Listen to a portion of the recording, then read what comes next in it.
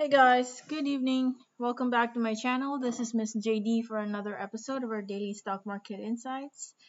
In this video, I'm going to talk about the uh, most trending stocks in the Philippine market today. At the same time, cover some of the requests that you guys dropped into my previous video.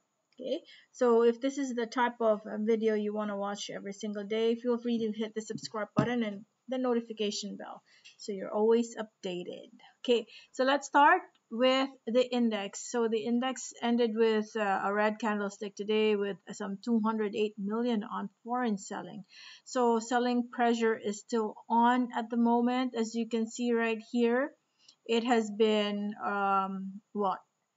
Uh, since the start of uh, the year the weekly sentiment of the market is more on uh, the decline. This is still on a downtrend. Uh, I'm currently looking at the weekly chart, so I have a cleaner view of our uh, chart here. So, and it is somewhat following this downtrend channel over here, whereby if you see the blue line I plotted here, that is acting as our resistance. And down below here, each time this level is hit, there is some form of uh, bounce that's happening. And if you are to look at it on the horizontal view, uh, most likely I am looking at the area of 6,904 as our potential, ne- uh, our next support, uh, possibly, uh, given that if you look to the left over here, back in September, there were uh, several weeks in that month whereby each time that level is hit, we are experiencing a bounce. So overall, this entire week for me is still on the bearish side. We have this red candlestick here, but that is just worth one day of uh, performance. So uh, overall, still the same view over here. This is what I am looking at. Chances are uh, tomorrow we could be touching this area and then uh, 6,905. Now the question is, could we potentially bounce within the week? Of course, that is still a big possibility. And um, a much better scenario is that if we, let's say, bounce at this level, then we ended uh, red, I mean green by Friday, no, by Wednesday, because Thursday and Friday, that's a holiday. Um, so we only have three days of uh, market day this week because of its Holy Week. So we want to see that end with a green. At the same time, we want the volume to rise. Currently, there isn't much volume. So any green day without volume is most likely not going to be sustained. See what happened right here? We ended with a green, but there isn't much volume. See what happened today? It was easily negated. It could easily come back. So 6,904 right now is our support. Okay, so the first stock I'm covering is SCC. So there is dividend. So for those people who are uh, interested to uh, take advantage of this 1 peso 50 cents uh, cash dividend, just know that for those who have not entered yet, you're no longer qualified to receive this because ex-date has taken place.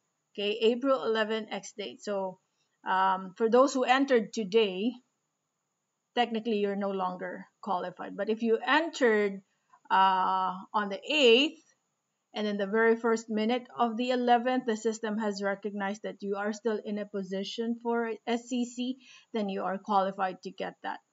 So most likely, a lot of the traders must have already exited uh, this for if if their purpose is just to get that dividend. Uh, most likely that is the reason why we had a gap down that happened today because traders already exited. Uh, chances are they must have entered somewhere here in this area and then uh, just took advantage of this dividend pay. Okay, so overall, for those who are interested in really understanding uh, the chart here, we are still sitting at a possible support. So we are at the MA20 line and we ended slightly higher even though we ended red. There's some foreign buying that happened. We're also sitting at a support uh, at the MA20 line. So this actually is a good area to uh, uh, probably re-enter okay? But don't expect for dividend because you're no longer qualified. But if you're into um, capital appreciation buying it low waiting for it to go up in value and then exit then this could be a much better entry level okay so 30.60 uh, just in case there will be fluctuations that's uh, something you can take advantage of 30.60 is our support area. Next is Annie.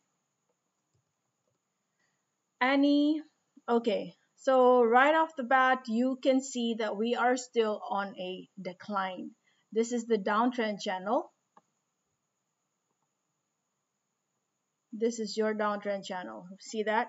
So each time that level is hit, rejection is happening. So very easy just uh, plot that and then control C control V then right over here plot the uh, the support area right over here so at the moment that is still being respected however uh, because I see accumulation right over here so chances are we might be approaching a possible support as well. So this is the support I am looking at somewhere around the 484.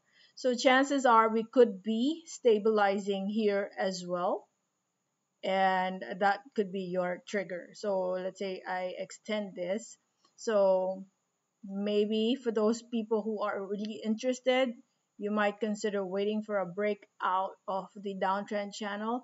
But for those people who are into the more aggressive side, uh, maybe you can enter somewhere around 4.87, 4.84, and then just uh, establish or identify your cut loss area or stop loss levels. Um, reminder, cutting your loss will only work if you're able to catch it at the area where you plotted it. And uh, make sure that that level is your uh, acceptable area for a loss right? Normally it ranges from 3 to 6 percent. It really depends on the amount you will be investing in. Because if it's already big amount 3 or 5 percent is huge. Uh, so let's say you enter at a you know uh, an okay or a small amount then maybe you can be more flexible in your stop loss levels but you have to decide for it. We have different profiles here. In fact all my my perspectives or all my um, insights are based on my profile being a mid to long term investor and i am more of a position trader.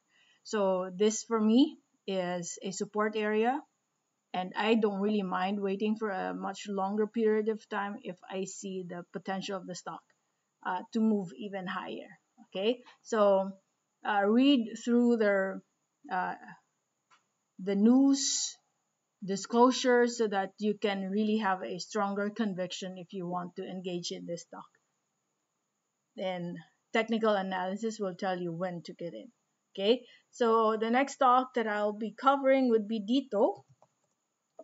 Dito ended red. Okay, and uh, like what I mentioned, we are still holding um, at the support area, which is around the 5 peso. And um, at the moment, the volume is still very low. So what we want to see here is for it not, first of all, not to break the 5 peso area. Because right now, this has already touched the uh, 5 peso level multiple times. If you are to start from here back in November, our RSI was around 15 level. Now we're reaching that area again and the RSI is already at a 42 level, meaning the momentum is starting to pick up. People are already starting to uh, have a buy sentiment here. So if this is going to stabilize at the 5, I think that's a good area. For position traders and long-term investors, this is already a very cheap level if you see the stock really um, prospering or uh, you know being profitable a few years from now. So just be patient. I think that's the main gameplay here for dito. This will not give you your immediate uh, rewards in the coming weeks or months. I think this is a, a stock really for long term. The next stock is BDO.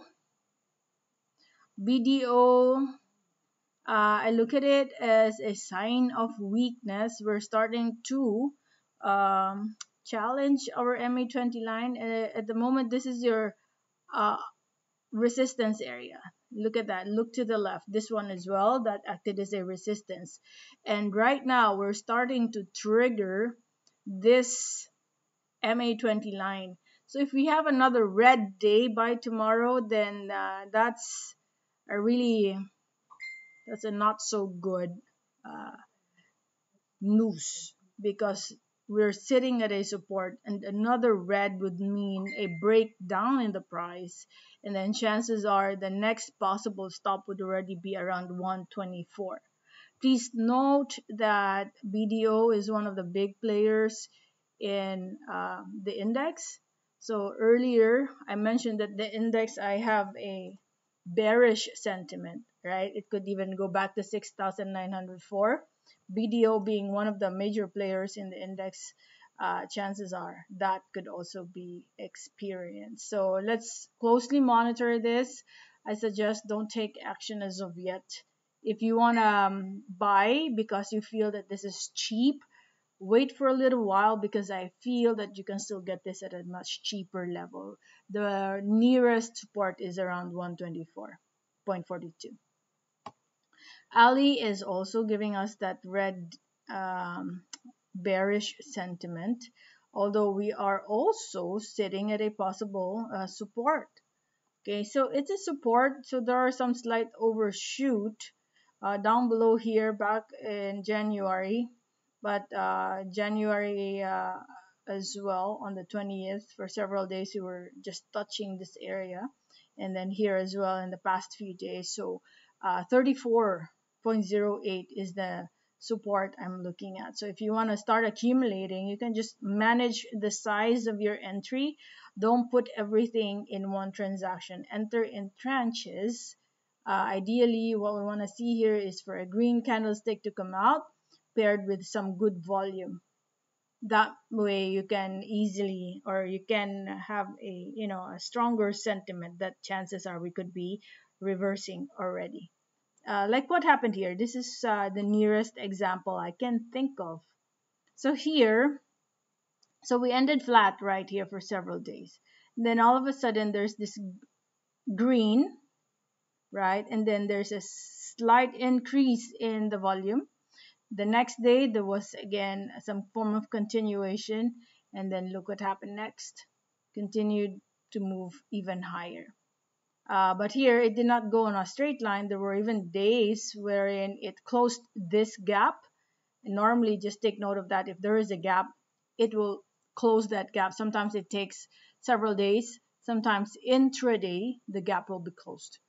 So that's the, the main story there. Uh, wait for that green candlestick to come out with some good volume. That is your first trigger that could be um, reversing anytime soon. DMC, we're sitting at the nearest resistance right here is this one. There's a dividend. Yeah, dividend. Okay. So for those people who have um, interests in DMC, you should have taken action today. Today is your last day to uh, enter and then be qualified. So tomorrow, if you want to exit, you're still qualified because you entered today because ex-date is the 12th. Okay. So DMC actually is one of the companies that give out uh, good dividend. Okay, here so we're approaching a possible resistance and it's ex-date tomorrow. So I am on the conservative side. Chances are it will dip and go back to some key areas, which is around the MA20 line, around 8.94.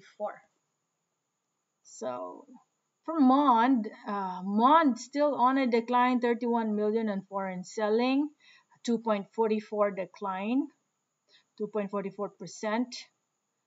Ooh, this area is a must watch level. This is where we entered or this is where we started uh, during the IPO days and then it went back to this level again. So really important that it should not break. Otherwise uh, the market will determine the next possible support because like all-time high where you, it does not give us any pre or, or uh, historical performance right that that showed us uh, the next possible resistance in the same manner here we don't have any historical data that will tell us the next possible support because the first uh, support established was back in the IPO days and we are already in that level. So let's find out if that will be broken or this is already a support. So must watch. Uh, same same drill. Wait for that green candlestick. If this is indeed the support, wait for a green candlestick with some good volume because chances are it will first go sideways because the buyers and the sellers are 50-50 at that point uh, we don't know who is going to win then uh, once you see that green candlestick and then some good volume that's our trigger SCC already mentioned that. Converge. Converge. Okay I see a nice green candlestick for converge. 38 million in foreign buying. So yeah this is already a bounce. Um, actually anywhere from uh, 28 30 to 29 20 anywhere between that is a good area to enter. You were given a good um, opportunity to get this at a, a cheaper level and it is now starting to recover. Actually yeah. Ideally you know this was the area where you could have entered but at least the the market has given us uh, some pullback. That's our chance to re-enter if you have not entered somewhere here. Eto siya see this? Another example. A green actually here good volume. This was your trigger. This is your first um, hint and then this is your confirmation day and then it continued to move up. So right now yeah one last um, for me this is still an okay area to enter at 28.29 all right so i think that's it for today guys. I hope i was able to give insightful information that you can use for your decisions tomorrow. Good luck in your trades. Bye bye